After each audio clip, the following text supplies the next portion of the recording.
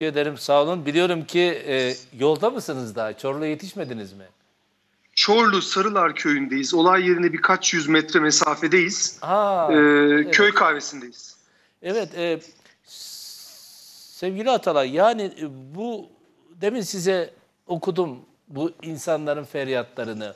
Bu annelerin acısı geçmiyor. Doğum gününde mezarlıkta olunur mu demiş anne. Yani öyle acı bir tablo ki 25 insan canını kaybetti ve 3 yıldan beri bunun hesabını soracak bir Allah'ın kulu yok. Yani ne hükümet bunun üzerine alındı, ne Cumhurbaşkanı bunu kendi üzerine alındı, ne Ulaştırma Bakanı bunu kendi üzerine alındı, ne de Devlet Demiryolları Genel Müdürü bunun üzerinden kendisine bir pay biçti. Sonuç olarak yargılama devam ediyor ama alınan yol yine bir arpa boyu yol halk tabiriyle. Geldiğimiz süreçte bu hesap sorulacak mı? Sorulacak, sorulması için sonuna kadar takip edeceğiz. Ee, biraz önce Cihan Bey çok doğru bir şey söyledi. Burada siyasi sorumluluğu işaret etmeden meseleyi anlamak, meseleyi anlamaya yaklaşmak mümkün değil. Ee, mesele aslında e, 2002'de başlıyor. 2002'de Adalet ve Kalkınma Partisi eliyle Türkiye Cumhuriyeti Devlet Demiryolları e, e, özelleştirilmeye hazırlanmaya başlıyor. Bütün e, altyapı işlemlerine ilişkin, üst yapı yatırımlarına ilişkin ciddi yapısal problemler var. Pamukova bunun ilk örneği, ilk katliamı, biz katliam diyoruz. E, ilk katliamı. Fakat 2011 ve 2013'teki mevzuat değişiklikleriyle artık mesele e, ben geliyorum diye bağıra bağıra geliyor. E, ve olacak olanı aslında e, ne diyelim önemsiz görüyorlar. Bir tür sayı hesabı yapıyorlar. Ölebilecek insanlara ilişkin bir sayı hesabı söz konusu. Durumu şöyle anlatayım. Çetin isimli sanık, Çetin isimli sanık e, duruşma salonunda şunu söyledi. Bu köprülerden mesul kişi, köprü ve menfezlerden, köprü ve köprücüklerden anlaşılması için söyleyeyim. Mesul kişi Türkiye Cumhuriyeti Devlet Demiryolları'nda dedi ki bu menfezdeki sorun her neyse sorun var diyorsunuz. Eğer burada sorun varsa burada yani huduttan, uzun köprüden Eskişehir'e kadar aynı durumda 300'den fazla köprü ve menfez var. Durumun ciddiyetini böyle anlatmak isterim. Geçtiğimiz hafta yoğun yağışlar sonrasında sosyal medyada siz de görmüşsünüzdür. Birinci bölgede yani Türkiye Cumhuriyeti Devlet Demiryolları'nın idari teşkilatlanmasındaki birinci bölgede pek çok yerde menfezlerin üzerinden e, su aktı altındaki toprağı alıp götürerek e, yaptı bunu. Bunun önlemleri alınmış. Bu bölgede daha önce bilinen e, böyle bu nitelikte bir kaza yok. Hatta neredeyse demir yolunda e, kazasızlığıyla bilinen bir bölge burası. Fakat e, biraz önce anlattığım özelleştirme kamu hizmetinin piyasa koşullarına göre yeniden kurgulanması sonucunda adım adım bu felaket geliyor. Burada bir problem olduğu biliniyor. Önceki seferlerde e, yavaş giden, e, risk olduğu için yavaş giden tren bu sefer yavaş gitmiyor. Neden olduğu anlaşılmaz bir şekilde. Örneğin yüzyıllardır, e, daha doğrusu 150 yıllık bir süredir bekçilerle doğrudan gözlemle risk olup olmadığı analiz edilen e, hatlarımızda, demiryolu hatlarımızda bekçi sayısı önemli oranda azaltılıyor. Hafta sonu görev yapan yol gözcüsü bekçi yok. Ve bu kaza bu yüzden oluyor örneğin. Bu iş aslında en başından beri biliniyor. Helikopterle buraya e, daha cenazeler çıkartılmadan getirilen e, bu hattın danışmanlığını yapmasına rağmen burada bilirkişi olarak görevlendirilen bilirkişiler dahi neyin nasıl olduğunu, kimlerin sorumluluğuna gidilebileceğine ilişkin köşe taşlarını raporlarında yazmışlar. Sadece sonuç bölümünde mevkileri ve kişi isimlerini yazmamışlar.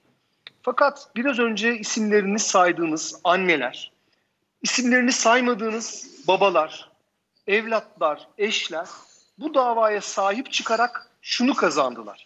Dediler ki biz bu işi boşa e, bırakmayacağız, sahipsiz bırakmayacağız. Sonuna kadar takip edeceğiz. Ve bu sayede mahkeme heyeti e, Türkiye'nin bu konuyla ilgili en önemli e, kürsülerinden bilir kişileri getirdi ve o bilir kişiler genel müdüre kadar sorumluluğun çıkması gerektiğini anlattılar. Biraz önce konuşmacı olan beyefendi söyledi istifa hala istifa yok. Ee, peki sadece genel müdür ve onun altındakiler mi sorumlu olarak kabul edilebilir. Yine söylediniz biraz önce. Dönemin bakanı, dönemin bakanı doğrudan sorumludur. Peki sadece bu kadar mı? Mesele 2002'de başladı dedim.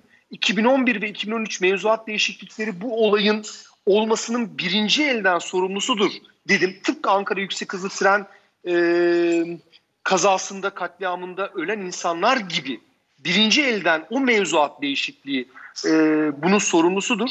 Dolayısıyla Binali Yıldırım da sorumludur. Onunla ilgili de e, Çorlu Cumhuriyet Başsavcılığı'nın daha fazla oyalanmadan, daha fazla sair gerekçelerin arkasına e, geçmeden, tanım yerindeyse gizlenmeden iddianame düzenlenmesi gerekir. Burada alt düzey memurlar yargılanıyor şu anda. Bu alt düzey memurlarla en azından bir bölümüyle ilgili bizim ceza isteyeceğimiz, açık cezalandırılmalarını talep edeceğimiz aileler adına açık ama bu yetmez. Sorumluluğun yukarı doğru gittiği, Türkiye'de kamu hizmetinin, devletin temel faaliyetinin hiçleştirildiği, piyasa koşullarına teslim edildiği açık. Bu suretle insan hayatlarının hiçe sayıldığı açık. Dolayısıyla 7 Eylül duruşmasından önce iddianame bekliyoruz. Ee, birkaç söz daha söylemek isterim. Türkiye derin bir adaletsizlik krizi yaşıyor. Biraz önce de konuştunuz. Ee, daha önce de bütün programlarınızda işliyorsunuz bunu. Derin bir adaletsizlik krizi var. Türkiye'de adalete güven e, ciddi oranda azaldı. Bu e, bu sebepsiz değil. İki şeyi bir arada yapmamız gerekir. Bir, parçada yani Soma'da yoksullukları istismar edilerek madende ölüm koşullarına çalışmak zorunda bırakılan işçilerin davalarını ısrarlı bir şekilde takip ederek, Aladağ'da bir cemaatin yurdunda okumak zorunda bırakılan yoksul köylü kızların, kız çocuklarının davalarını ısrarla takip ederek, Hendek'te yoksul e, işçi, orta yaşlı işçi kadınların davalarını takip ederek ve Çorlu'da kamu hizmetinin tasfiyesi sonucunda sosyal bir cinayete kurban giden 25 insanımızın davasını takip ederek adalet talebini yükseltmemiz gerekir. Parça parça bunu yapıyoruz. Fakat bu adaletsizlik krizi sadece bizim aşağıdan e, müdahalemizle, mücadelemizle, parçadaki mücadeleyle aşılamaz. Türkiye'nin esas meselelerinden bir tanesidir bu adaletsizliğin aşılması. Dolayısıyla bütünde de aşılmasını e, aşılmasının bir zorunluluk olduğunu bir an için akıldan çıkarmamamız gerekir. Peki e, bundan sonra ne olacak davada? Yani sorumlulara ulaşmak çok mümkün görünmüyor gibi. Yani 3 yıl geçti ama bir arpa boyu yol alamadık. Eylül'de herhalde duruşma. Gelinen son nokta ne? 7 Eylül'de. Evet son nokta ne Can Bey? Şu an içinde bulunduğumuz. Şöyle çok çok hızlıca biraz önce söylemeye çalıştım. Ee, yani bilirkişi raporu geldi dosyaya.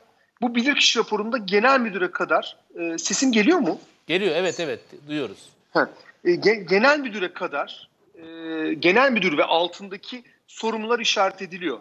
Fakat hukuki değerlendirme hukukçuların işidir. Cumhuriyet savcılarının ve yargılamada da e, mahkemelerin işidir.